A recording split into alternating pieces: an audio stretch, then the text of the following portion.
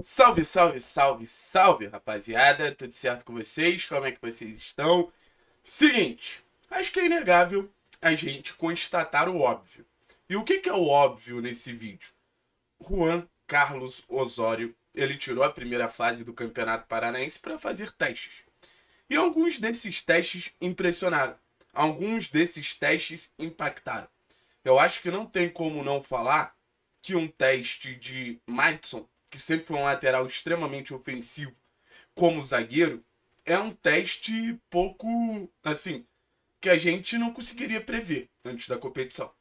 A gente imaginar que o Gamarra poderia jogar de meia esquerda era impossível prever antes da competição. E a gente teve outras situações. A gente teve, por exemplo, deixa eu pensar aqui, jogadores jogando nas mais diversas posições. O Christian jogou em várias, o Jader jogou em várias, o Julimar jogou em várias. E muita gente vincula a primeira fase ruim de campeonato paranaense que o Atlético fez ao fato desse excessivo número de testes. E eu não acho que foi. Porque eu acho que, por exemplo, você jogar com o Julimar como ala, você botar o Jader como ala, você botar o Madison como zagueiro, você botar o, o Gamarra como meia ali alguns minutos, não é o suficiente para atrapalhar o jogo do Atlético com quanto o jogo do Atlético foi atrapalhado. O Atlético ele tinha que ter apresentado muito mais, o Atlético tinha que ter entregado muito mais. Então, assim, um teste ou outro poderia ter dado errado, como eu acho que deu, assim como outros deram certo, mas eu acho que isso também não pode ser usado de muleta. Ah, agora acabaram os testes, o Atlético vai começar a jogar bola. Não. O Atlético pode continuar tendo um desempenho insuficiente, mesmo com os testes ou sem os testes, enfim. Ah, Thiago, qual foram os testes que você gostou? Cara, eu não, eu não sei se eu lembro de todos de cabeça, mas eu gostei, por exemplo, do Madison de zagueiro. Eu não achei que ele foi mal. Óbvio que o nível é abaixo, mas eu não achei que ele foi mal. Eu gostei do da, das mudanças de posição do Julimar. Julimar em algum momento começando como 9, aí depois vai para a direita, aí depois vai para a esquerda. Eu gostei do Jader mais por dentro do que por fora. Eu acho que os testes também são para entender onde está o jogador se sente mais à vontade. Então acho que o Jader ele se encontrou ali mais como um meia do que como um ala. Tô tentando pensar outros, cara. Eu acho que, por exemplo, o teste do Pablo como meia pode ser útil se for melhor lapidado. Então, assim, não, a gente não teve 100% dos testes como algo negativo. Eu acho que alguns fizeram sentido.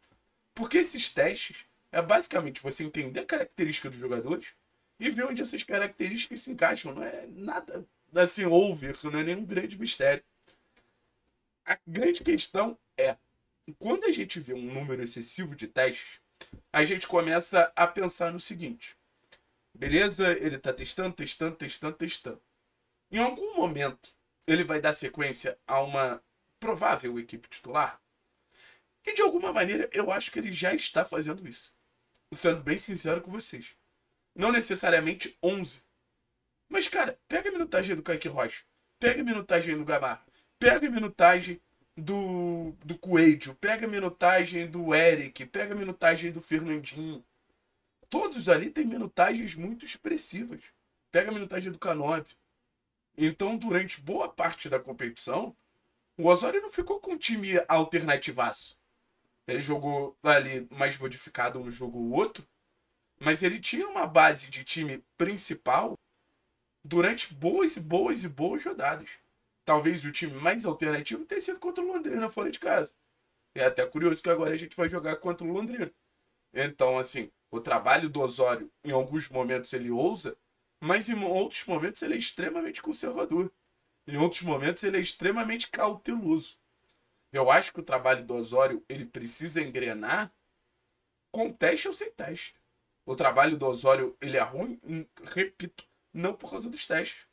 Então, assim, contra o Londrina, na semifinal e final, caso o Atlético chegue, cara, eu vou, eu vou ser sincero com vocês. Eu gostaria de ver jogadores como o Jader, como o Julimar, como o Benítez, como o Luan Patrick, que está chegando agora, como o Léo Link, que estão longe de ser jogadores titulares, mas esses caras recebendo oportunidade.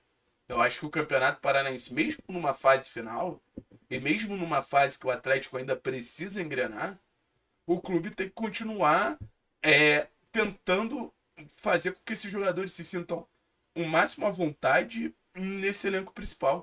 Que esses jogadores se sintam o máximo confortáveis nesse elenco principal. Que, querendo ou não, é mais ou menos isso o intuito do Campeonato Paranaense. Pegar um Jader e entender que com o Zapelli, com o Christian, com o Fernandinho, esse moleque pode render. Pegar um Julimar e entender que ele pode ser ponta esquerda, ponta direita. Entender que o Luan Patrick pode ser uma peça utilizada assim depois de tantos anos. Aí você vai começar a contar cada história individualmente. Eu ainda acho, vou reforçar aqui, que ele deveria sim, principalmente nos jogos na Arena da Baixada, utilizar um time titular. Eu acho que ele deveria escalar o melhor que o Atlético tem, até para o Atlético ter mais atuações convincentes, até para o trabalho dele convencer mais o torcedor.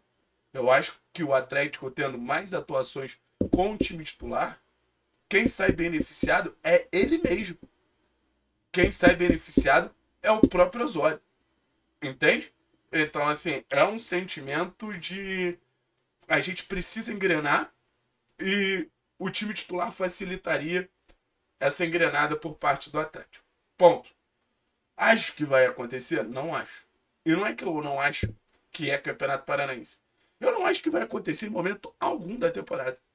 Eu acho que no Campeonato Brasileiro a rotação vai continuar acontecendo. Eu acho que na Copa do Brasil, na Copa Sul-Americana, menos por ser Copa e você tem menos chance de errar. Mas no Campeonato Brasileiro, que você vai ter que pô, poupar um jogo aqui por causa de jogo lá, poupar um jogo lá por causa de jogo aqui, eu acho que, cara, as loucuras do Osório, ou, ou a criatividade do Osório, como você quiser definir, ela vai seguir, ela vai continuar sendo, assim, um protagonista da temporada do Atlético. Porque, como eu falei, algum momento pode dar certo, outro momento pode dar errado. A gente espera que dê certo o máximo de tempo possível. Mas a chance de dar errado, ela, assim, ela é uma realidade. Vamos ver. Eu acho que conforme o tempo for passando, os jogadores entendendo a ideia do Osório, eu acho que esses testes eles passam ser eles passam de ser testes e viram opção. Por exemplo, ah, o Jader como ponta.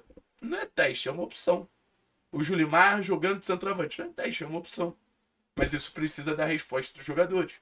Isso precisa que, isso precisa que os jogadores eles consigam se entregar ali ao ponto de o Osório vai estar tá te botando numa posição diferente e você dá uma resposta tanto técnica, porque aí parte mais pro lado individual, quanto coletivo.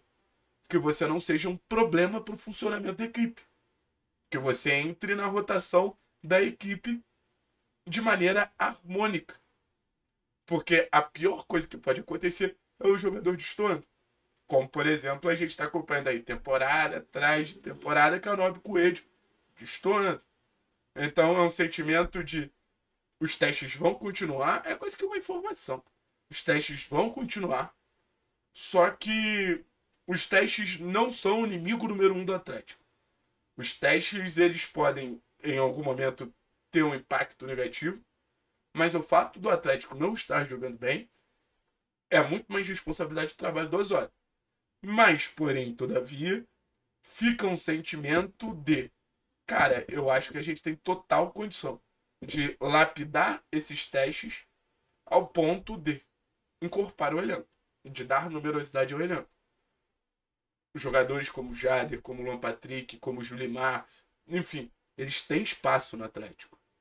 E o Madison como zagueiro, será quem como ponta, será quem como volante? Pode ser uma solução para um elenco que ainda tem brechas. É importante lembrar isso.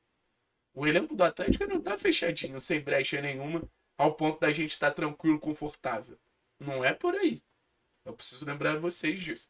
Então, assim, o Osório, ele também faz testes para ajudar ele em cenários que não necessariamente são cenários tão positivos quanto a gente acha. Valeu? Tamo junto, Anás. Pessoal, forte abraço.